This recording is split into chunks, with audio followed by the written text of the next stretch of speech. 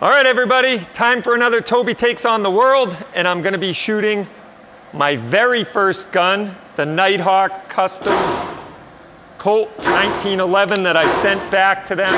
But this is the gun I bought when I was 18 years old, and I sent it back for their reliability package, have it cut for IOS, their integrated optical system, and uh, checkered the front strap, refinished it in the black nitride, put some night sights on it, and uh, did their dehorn carry package. So I'm really excited about this gun. I don't shoot it a lot, but because it was the first gun I bought, it was near and dear to me. I carried it for about 15 years before I retired it for a modern striker fired gun. But now that I've got it back from Nighthawk, it's given me a little bit of a spring in my step, so I'm gonna go ahead and shoot it here.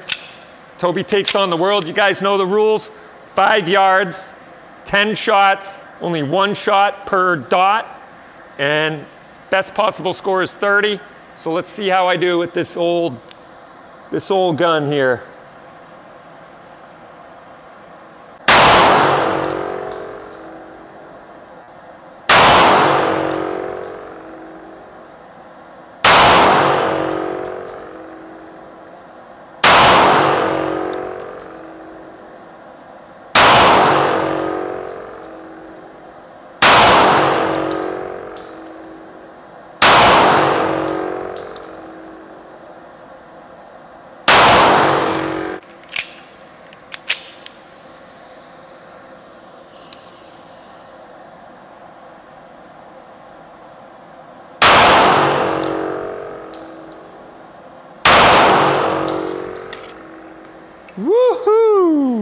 That might be my all-time high score.